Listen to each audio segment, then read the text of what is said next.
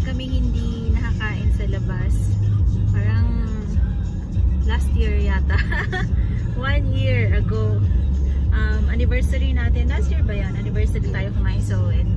So, yearly lang kung makakain doon sa ONB.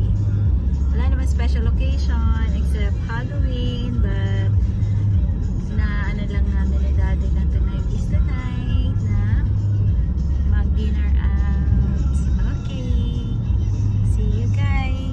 Guys. O-order na siya. O-order ka na. Anong pinipili mo? Dito kami sa ON. Parang wala siya ano, yung mga steak, ano?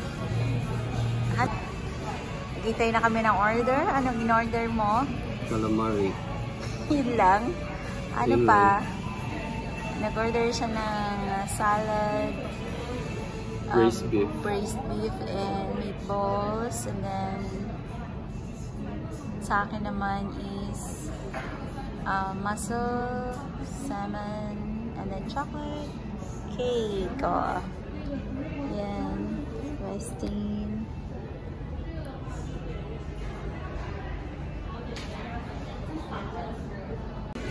Yan na po yung in-order. Mussel, calamari, salad. Uy, salad siya, oh. Kamusta ang salad mo, Daddy? Good. Good, yeah. Oh. Ay, tinan mo nangyari sa tahong ko. Paubos na. Sarap. Pati calamari. Um, calamar. Ay, ano pa data? Mussel. Mmm. Yummy.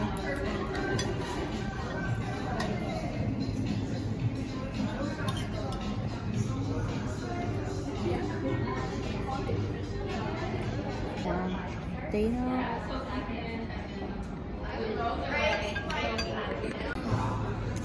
Ito na ang main, salmon, yung sa kanya, um, ribs and meatballs. Ano ito? Ha? Mashed pot um, sweet peas, may mashed potato. Masarap siya. Yan na po, oh, talagang ubos na siya. Masarap. Itong isa hindi nakaubos kasi busog na siya. Pero masarap naman yung kinain niya. Ang daming mashed potato, ang daming serving.